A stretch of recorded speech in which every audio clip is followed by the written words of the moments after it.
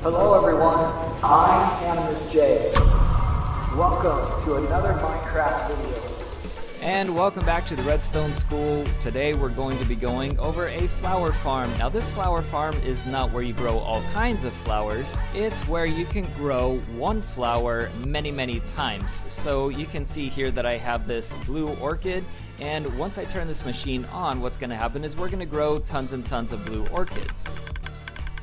Now this works super duper fast. It gets you tons and tons. I mean, you get basically stacks. You get pretty much a stack every five seconds roughly. And yeah, you can see it's just growing like crazy. And then the nice thing about this is I can come over, I can open this trap door, replace that flower right there, and now I'm going to be growing that new kind of flower. So rather than growing all kinds of random flowers that you don't need, getting all kinds of seeds that you don't want, you can just grow the specific flower that you need and get tons of it. Down in the description below, there should be a list of all the build materials that you need in order to make this wonderful machine, and there should also be a link to the texture pack that I use for my redstone, as that is a question I get asked quite frequently. Although I did design this tutorial on the Bedrock Edition, it should work for literally every version of Minecraft since it doesn't use any features that are unique to either. Okay, so let's get in how to build this thing. I'm going to build it a little bit above the ground because it's going to be easier to teach you guys. You can build it in the ground, just understand that you're going to have to do a little bit of digging if you do it that way. So what I'm going to do is pick one of the corners. I'm going to come up by two. I'm going to put my grass block there. That's where my flower is probably going to end up going and then go ahead and extend that out so that it's five blocks total one two three four and five and then we're gonna go five total in the other direction as well one two three four and five so then we are eventually going to fill this entire thing in, but we're not quite ready to do that yet. So then let's go ahead and make our line across the five with whatever block you choose to use. And we're going to line that completely with dispensers.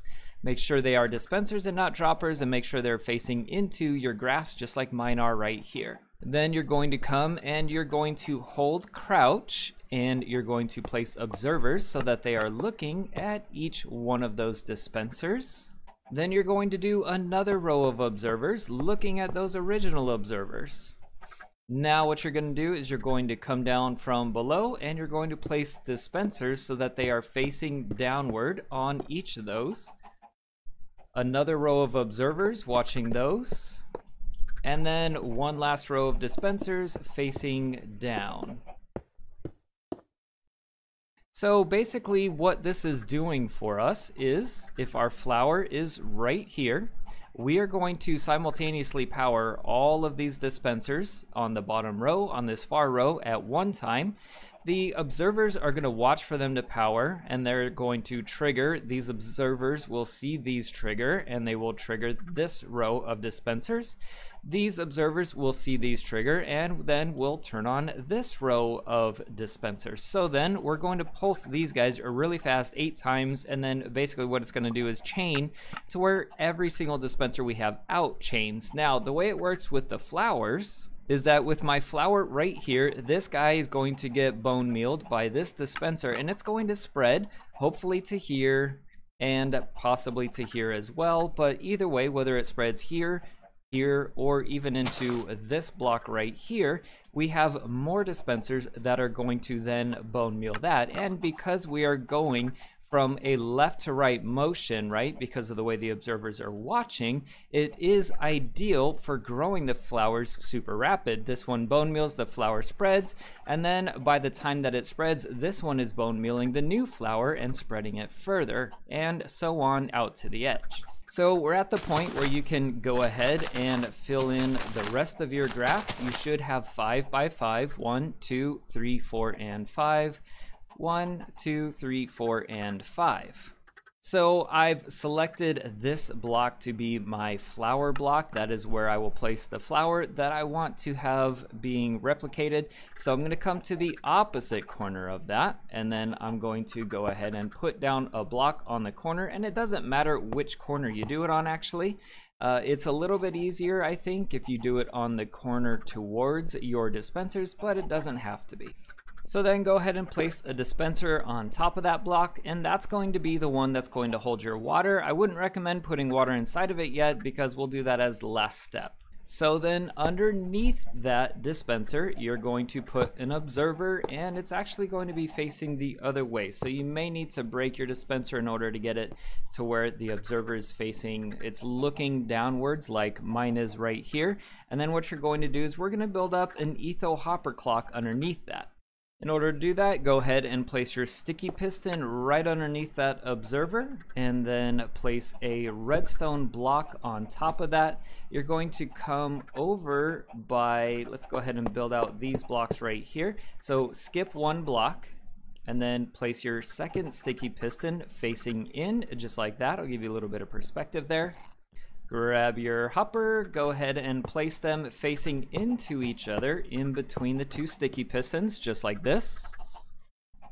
A comparator on each side of the hopper facing away. And then your comparators need to go into a block, and then you need to have one spot of redstone dust on top of the blocks. If you're not familiar on how an etho clock works, basically what we're going to do is pass items back and forth between these two hoppers, pushing the redstone block back and forth.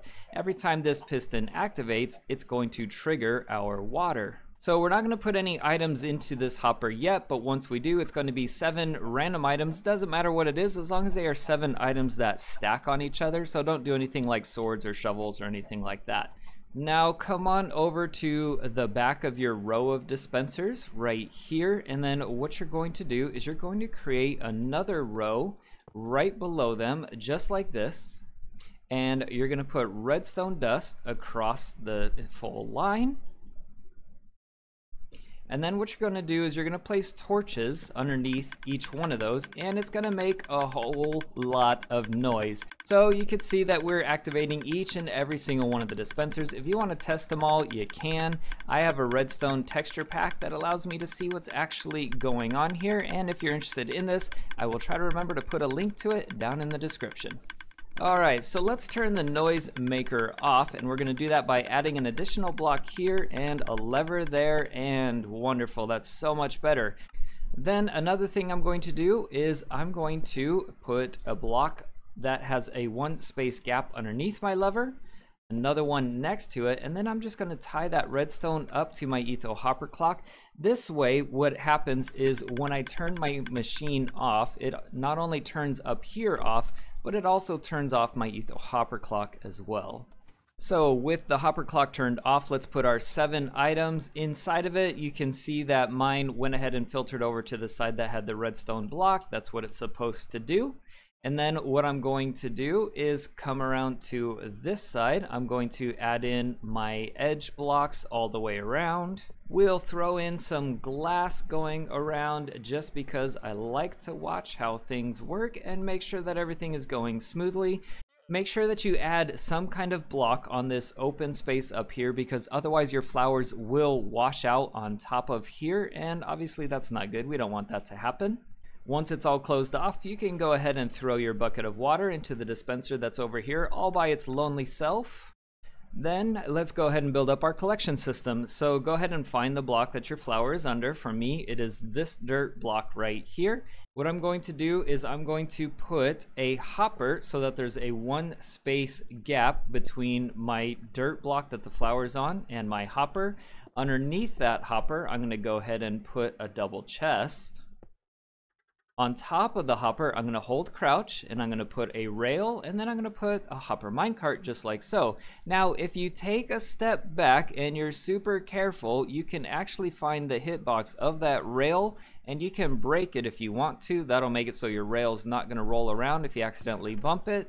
It's not necessary, it's just something that I prefer to do. So now all the flowers will get pushed over into this corner. The hopper minecart will suck them up, feed them through the hopper and down into the chest. And now I think the last thing we need to do is add in our bone meal. So in regards to the bone meal, what you can do is you can have hoppers on top of each and every one of the dispensers, just like so.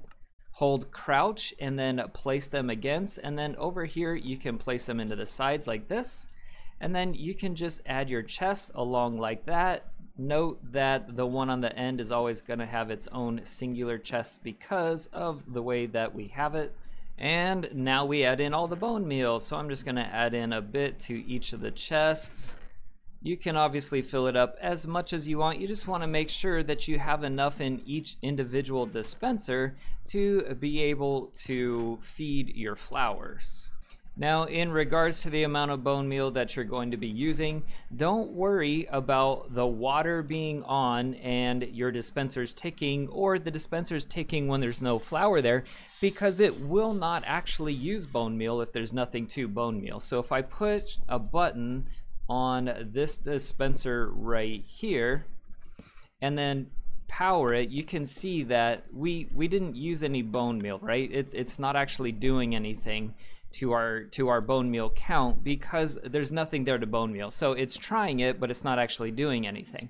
So now when we flip the lever, it's going to turn on all of our dispensers are going to start bone mealing, bone meal up the flowers. And then every so often, it's going to power the water, wash everything down into the corner and collect it up. So let's see how it goes. And there we go. You can see we instantaneously get tons of flowers the moment the water's gone. It fills it up almost entirely every single time. Don't worry about it if your flowers aren't exactly making it all the way to the end in every flush like you can see here a couple of them are sitting there. In the next time it's going to push those down. So you can see these guys they're just sitting here but in the next flush it's going to push them right in. So I played with it a lot and figured out that seven items in the Etho Hopper Clock was just right for being able to get a good flush and a good spread on the flowers, but you can change it if you do want to. I just think that that served the best. If we check our chest, you can see we've already got two stacks flushing in, and this thing has only been on for about 10 seconds. So yeah, tons and tons of flowers. And then of course, when you're ready to turn it off and walk away, all you gotta do is flip the switch, everything's gonna stop, and there you go. So one thing I forgot is that the place where your flower goes, you're gonna probably wanna put down a trapdoor so you can just open it up, change out the flower, and then turn your machine back on in order to get different kinds of flowers and collect up all kinds of different types. So that is it for today's tutorial, guys. I hope that you liked it, and I hope that it helps you out. If it did, make sure to hit that like button, and if you haven't already, I'd love to have you subscribe. That's it for today's video, though. I'm Animus J, and I'll see you next time.